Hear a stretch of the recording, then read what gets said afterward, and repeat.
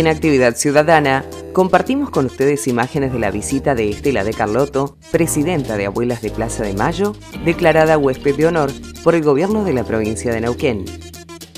La artista Marta Cali nos cuenta detalles de su obra Viceversa, especialmente diseñada para la reapertura de la Sala de Arte Emilio Zaraco, y por último, tenemos la mención especial realizada por la legislatura a Miguel Manríquez, corredor ciego, que corrió en el mes de abril los 110 kilómetros en el Patagonia Run, acompañando el proyecto Casa Tuya que lleva adelante la Asociación Puentes de Luz de San Martín de los Andes.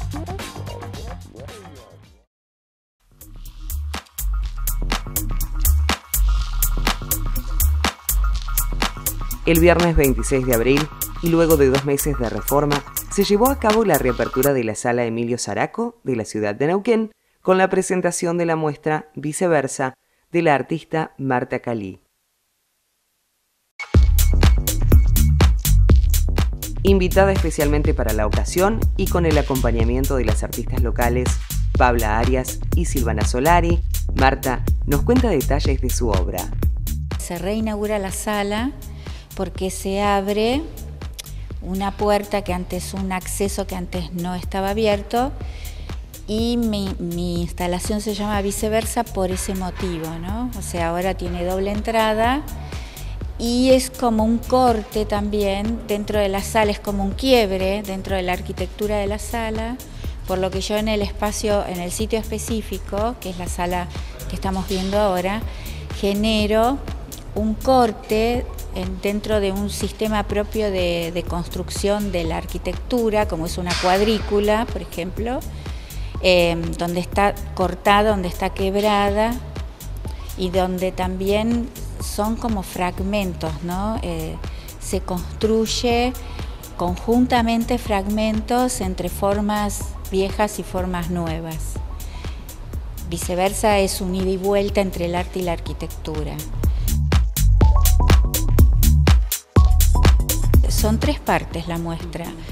Eh, una es el proyecto inicial, eh, que justamente está, ocupa como un puente entre las dos puertas ahora, eh, con planos, maqueta, está el texto curatorial y el, el espacio trabajado en el lugar es el que estamos viendo ahora. Y luego hay otra instancia que es un registro audiovisual sobre todo el trabajo que se hizo acá.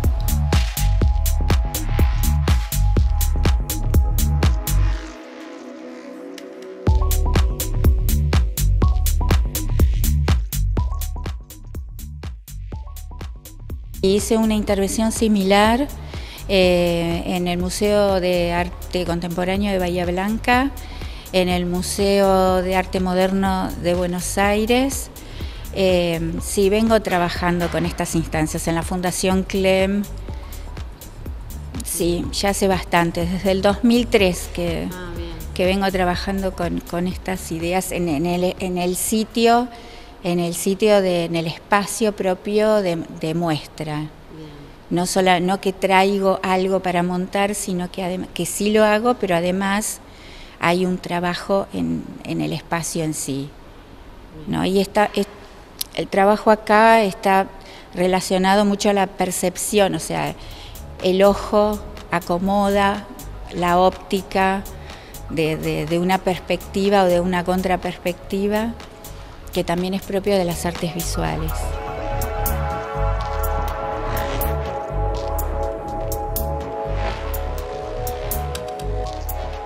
Es la, primera vez que vengo a Neuquén. Bueno, me encantó venir a Neuquén, eh, me encantó la gente. Vengo de una ciudad como más dura, eh, mucha amabilidad, o sea, sí, me encantó venir. La sala esta quedó muy bien, es una sala ahora ideal para arte contemporáneo. Sé que tienen ya proyectados otras muestras este año, pero es una sala que podría ser una sala eh, europea bien de, arte contemporáneo, así que espero que la disfruten ustedes porque me encantó venir, la verdad que sí, trabajar. Después tuve el apoyo de los eh, estudiantes de la Universidad de Río Negro Acá vemos dos que están en este momento trabajando, algunos de ellos. Em, está Melina Duarte, está Leonel Celebrino en este momento acá. Así que más no puedo pedir porque me trataron muy bien. Estoy muy contenta.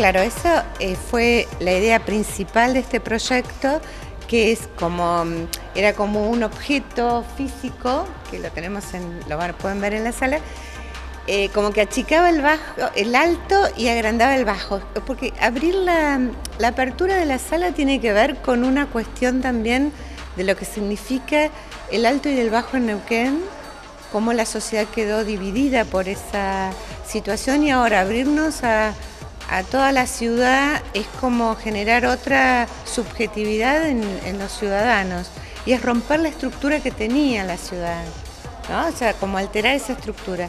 Como el objeto físico que materializaba eso no lo, no lo pudimos construir por una cuestión particular, entonces la conceptualización de esa desestructuración de la ciudad es la que materializamos en el espacio mismo de la sala. Y esa es una idea que me parece importante porque para todos los neuquinos, eh, abrir la sala a, lo que es el Bajo, a lo que es la plaza, el Parque Central, no sé, me parece que la gente va a sentir mucho más propia y no tan elitista el arte, o sea, como mucho más vinculado. Y eso creo que es una de las cosas más importantes.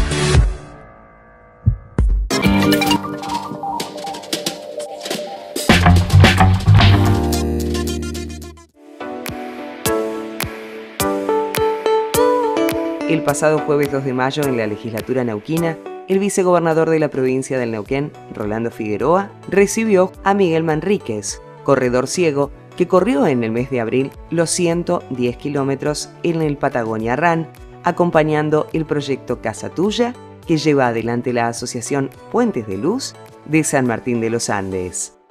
En la ocasión, las autoridades legislativas hicieron una mención a Manríquez por su participación deportiva con un fin solidario y entregaron un aporte de la legislatura en colaboración con la campaña que lleva adelante el corredor para Puentes de Luz.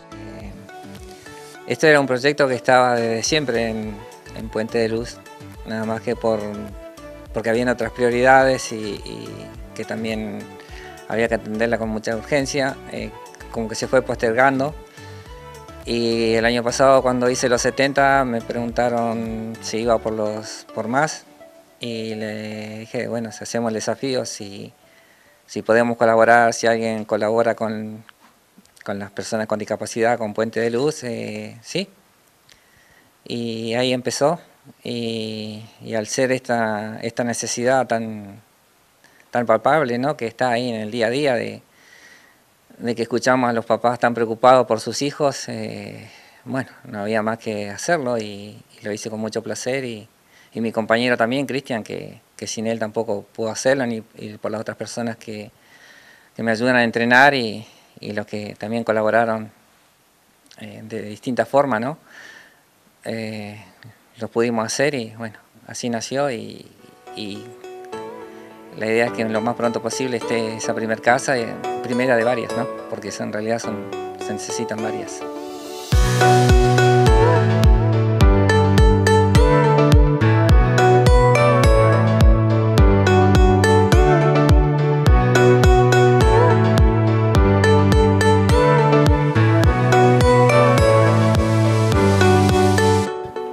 Siempre aprendo de Puentes de Luz, como una organización en el sur neuquino da todo, absolutamente todo, para que los chicos estén mejor y también estos chicos que están mejor, como en su momento indicado, también pueden colaborar por la institución. ¿no? Y Miguel creo que es una muestra de ello.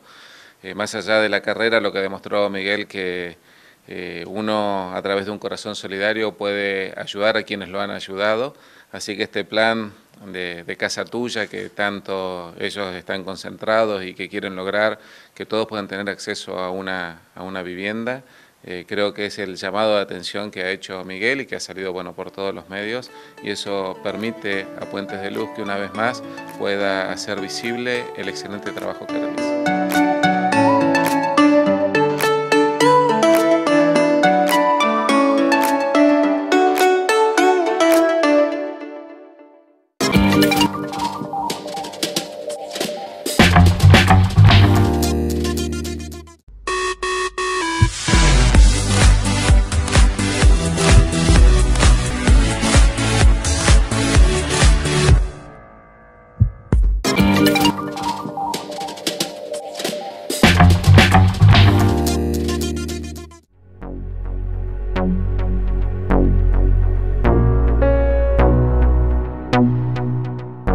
Pasado 29 de abril, la provincia de Neuquén y la Asociación Civil Abuelas de Paz firmaron un convenio para que Radio y Televisión del Neuquén RTN realice una película documental sobre la vida de Estela de Carlotto, presidenta de Abuelas de Plaza de Mayo.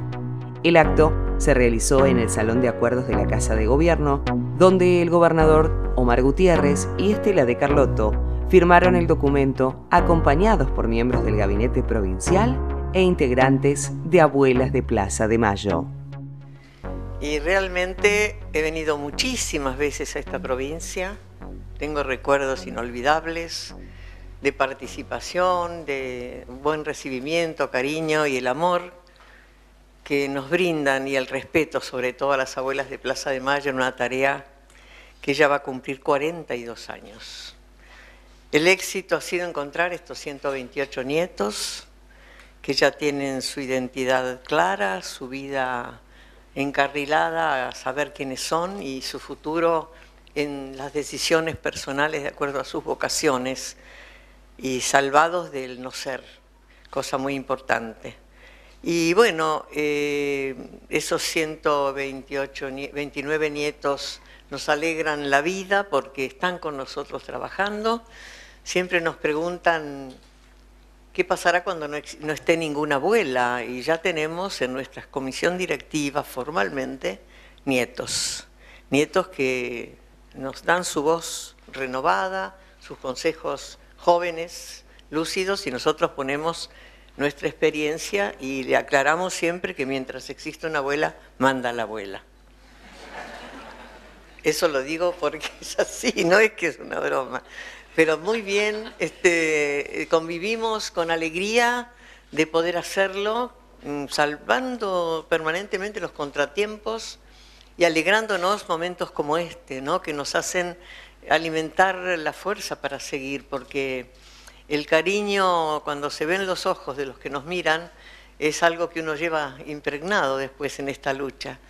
Eh, siempre, siempre nos recibieron con afecto, este, con mucha, mucho respeto y sobre todo esa cosa tierna del, joven o la persona que ve a una abuela. Siempre la abuela tiene un rol eh, familiar o en, la, en la historia de los pueblos.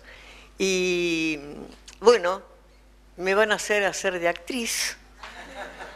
Yo me siento muy cómoda haciéndolo porque siempre quise ser actriz. Entonces cuando era chiquita, por supuesto, jugando. Y voy a hacerlo con mucho gusto para lo que sirva, sobre todo para difundir y el proceso que tenemos en el país de aquí a fin de año, eh, qué clase de gente tenemos en cada provincia y qué clase de proyecto político se ha desarrollado en esa provincia. Hay que, yo veo que acá nos sentimos todos compañeros somos habitantes del, mismo lugar.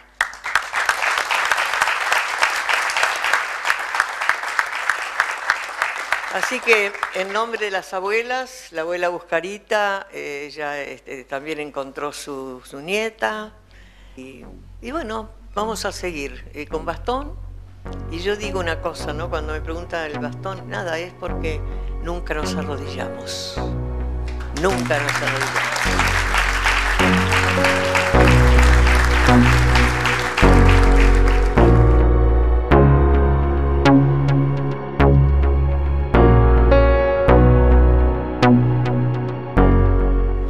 En el que estamos concretando eh, un sueño que empezó hace un par de meses, cuando producto de un tránsito que hemos encarado en conjunto, abuelas y el pueblo neuquino representado a través de su gobierno, con la decisión del gobernador Omar Gutiérrez pudimos poner en marcha iniciativas vinculadas al derecho a la identidad, principalmente un acuerdo estratégico donde los registros civiles neuquinos brindaron y ceden los datos obrantes eh, durante periodos oscuros de nuestra historia argentina para que abuelas pueda seguir llevando adelante esa tarea titánica de seguir encontrando nietos y nietas.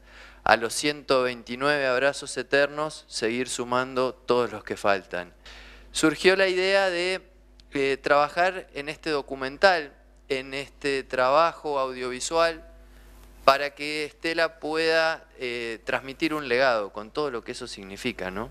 Eh, y para nosotros, humildemente, significó una convocatoria que no podíamos decir que no, y nuestro medio público que nos enorgullece, Radio y Televisión del Neuquén, dijo sí, acá estamos, vamos a coproducir esto con abuelas, y desde ese momento es que hemos avanzado muy rápidamente, en tan solo dos meses dimos todos los pasos y hoy estamos eh, firmando la coproducción con la Fundación, con Abuelas y con RTN.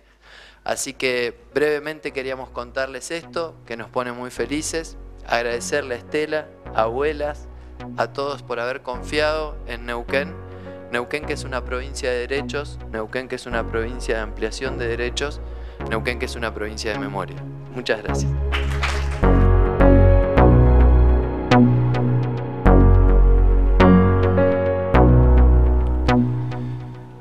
Gracias por confiar en Neuquén.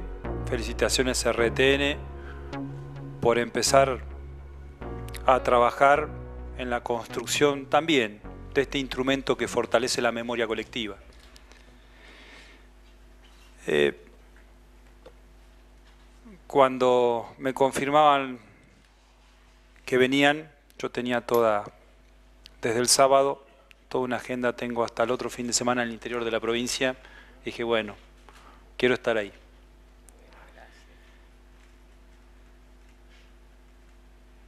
Todo el pueblo neuquino está contento de que ustedes estén acá.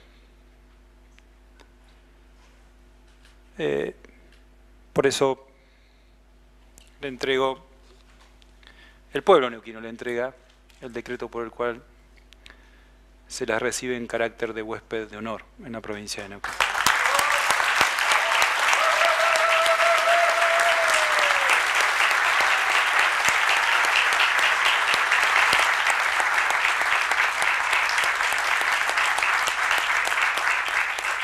Y ustedes han marcado y marcan un sendero y un camino, en el cual hay siembra y cosecha, 129 niños y niñas y nos esperan aproximadamente 300 niños y niñas para localizar, para restaurar identidad, para afianzar el derecho a la identidad. Por eso también quiero felicitar este convenio en el cual los derechos de utilización de este instrumento son cedidos a las abuelas. Ellas van a poder, a partir de toda la girar y comercializar todos este documento, también incorporar recursos, recursos en los cuales ellas no están exentas de las dificultades por las cuales el gobierno de la provincia de Neuquén, el pueblo neuquino, se ha comprometido a aportar económicamente para que también ustedes puedan seguir llevando adelante esta lucha.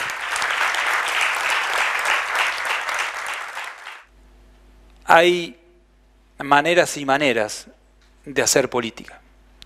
Y en la provincia de Neuquén, se construye futuro, ejercitando el músculo de la memoria y rescatando la historia. Por eso lo que pasó el otro día en el Consejo Deliberante, con mucho respeto, es una falta de respeto a ustedes.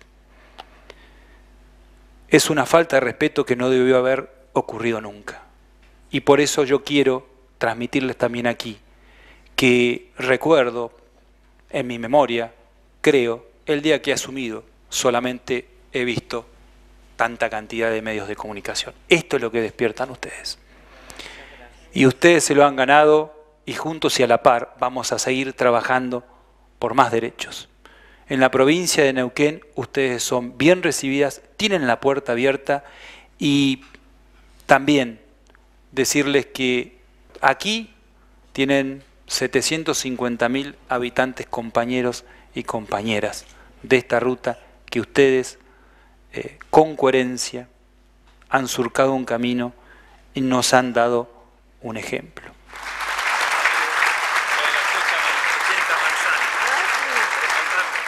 Una anécdota de, de las tantas oportunidades que vine a esta provincia querida, eh, no me acuerdo en qué año, y habíamos encontrado ya 80 nietos.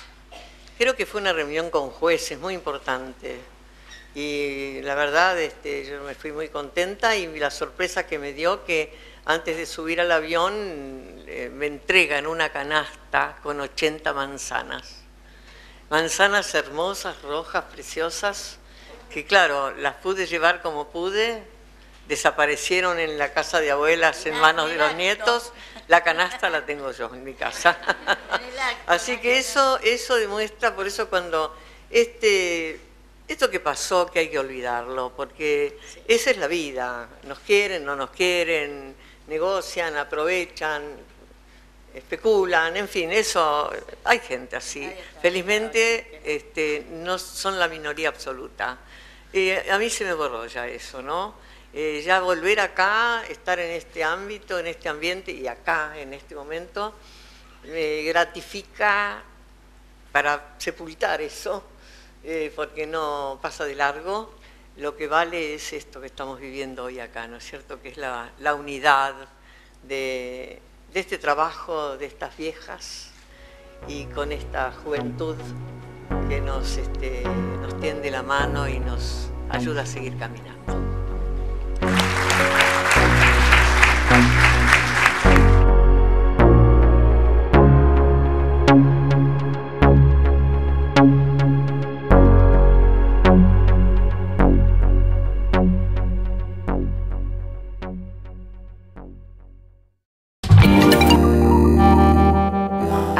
Ciudadana llega a su fin y les recuerda que para comunicarse con la producción lo pueden hacer vía mail a actividad90